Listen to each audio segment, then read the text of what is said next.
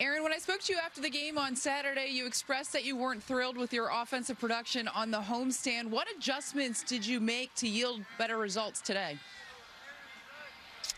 Uh, just trying to swing at pitches in the zone, you know, especially, you know, trying to jump on guys early. You know, I felt like I was getting a lot of, you know, first pitch, you know, even if it was a fastball or slider, you know, out over the middle and kind of taking and putting myself in a hole, you know. So today I really wanted to um, just get out there and, you know, jump on a good pitch that was in the zone. Aaron Boone had talked about being proactive and giving you some days off this year. The both times that he's given you days off, you've come back and homered. Is there anything to that? uh, th there might be. I'm, I'm, not sure. You know, I'm just uh, you know trying to take it one day at a time. You know, make sure I'm there for my teammates.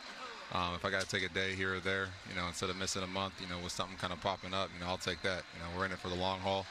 Um, you know, but this was uh, today a great team win. You know, Monty going out there doing his thing. This was uh, a fun one here in Tampa. You mentioned Montgomery with the exception of that Zunino solo shot. He seemed pretty much dominant out there. What did you think of his effort? Wow. Um, he went out there and really attacking the zone. That's what I kind of noticed from him. He was using his fastball well. Um, his secondary pitches, you know, kind of kept guys off balance, which was great. Um, but he, we were feeding off him, you know, all, all, game. You know, feeding off his energy. You know, he got some big double plays when we needed them. Got the, kept the ball you know, mostly in the park except for the ones Zunino. But, uh, you know, I just liked his aggression, you know, his how he's aggressive in the plate and um, doing his thing today.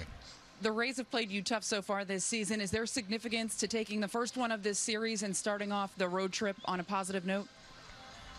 Yeah, it's big time. That's huge for us, you know, especially coming here. You know, they usually have our number here um, in Tampa.